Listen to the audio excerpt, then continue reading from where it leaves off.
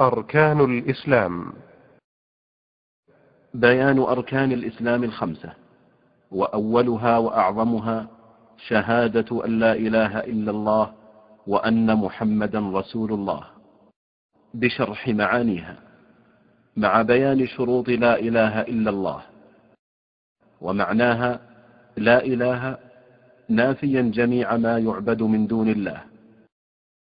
إلا الله مثبتا العبادة لله وحده لا شريك له. وأما شروط لا إله إلا الله فهي العلم المنافي للجهل واليقين المنافي للشك والإخلاص المنافي للشرك والصدق المنافي للكذب والمحبة المنافية للبغض والانقياد المنافي للترك والقبول المنافي للرد. والكفر بما يعبد من دون الله. وقد جمعت في البيتين الآتيين. علم يقين وإخلاص وصدقك مع محبة وانقياد والقبول لها. وزيد ثامنها الكفران منك بما سوى الإله من الأشياء قد ألها.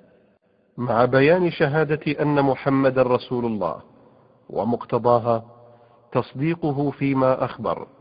وطاعته فيما أمر واجتناب ما نهى عنه وزجر وألا يعبد الله إلا بما شرعه الله عز وجل ورسوله صلى الله عليه وسلم. ثم يبين للطالب بقية أركان الإسلام الخمسة وهي الصلاة والزكاة وصوم رمضان وحج بيت الله الحرام لمن استطاع إليه سبيلا.